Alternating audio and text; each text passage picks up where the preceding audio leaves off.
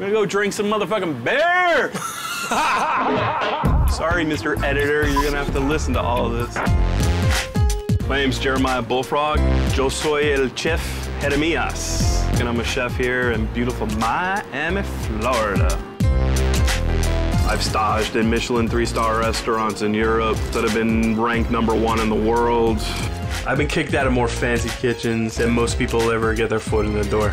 I run my own catering operation. I have my own food truck. I'm the chef for Rick Ross. Rick Ross! One of the best rappers in the game right now, doing it big. He literally calls me up at any time of day, and it usually goes, Hey yo, Bullfrog, 8 o'clock, six people, make it sexy. I keep them coming back. And so it's like, what does that what does that mean? Do do you want steak?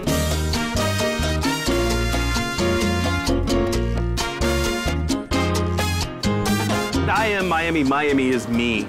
I grew up here. I was born and raised in the 305. Look, there's two sides of Miami. You can go to South Beach and rent an orange Lamborghini and ride around with your door up with your unts playing.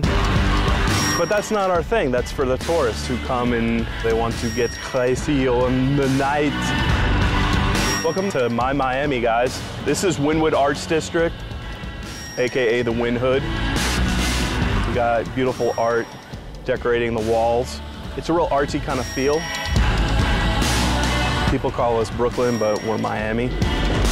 It's just got a lot of young owners who want to give back to the community. How are you? Hi, how you been? Good, man. You mind if I jump up, see what's going on in there? Yeah, check it out. All right, let's do it. There's a bunch of us that are out there who have the same beliefs, and we want to just make it about the good food. Mmm, got that yummy, smoky, porky goodness going on. Yeah. So they put this on like some Texas toast, some some cheddar cheese. Gets a little spice. It's it's like one of those those Guy Fieri moments. You you gotta like like tuck in real wide and get in on that grub. It's nice.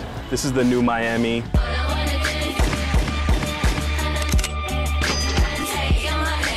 Gastropod is our mobile food operation. Uh, it started off with an Airstream trailer, voted top 10 food truck in the country. We could do dinner parties for 50 people sit down, seven courses, or we can go to a music festival and serve a thousand people four days in a row back to back. My team's awesome, and we wouldn't be here if it weren't for them. My name is Carla and I'm Jeremiah's wife. You know, anything that needs to be done, then we do it together. Working with your significant other is never recommended. Fuck!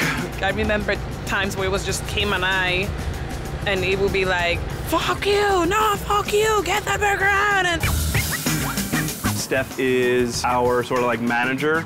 You want some pop sauce? I'm the little sister that Jeremiah never wanted. That's me. I was a vegetarian for 17 years. And then I started working for the gastropod. And I was really hungry one day, and that burger smelled really good. And Jeremiah's like, just try it. Boss, I gotta go. What the fuck, dude? Are you working a half day today? He's a big softy on the inside, Did you taste this? but when it comes to food, he's very hard. Where's the fucking oil? he's like a big teddy bear with armor on. That's what he's like. If you take a look at me, you'd be like, who is this bearded guy with a headband, wearing his dark sunglasses? He's a thug, he can't cook. I mean, people look at me, they think sloppy Joe, but, you know, I'll surprise you. I'll pull out some tweezers, some foraged wood sorrel. We get crazy like that. And voila, hot buttered popcorn tamale, served gnocchi style. It is stupid good.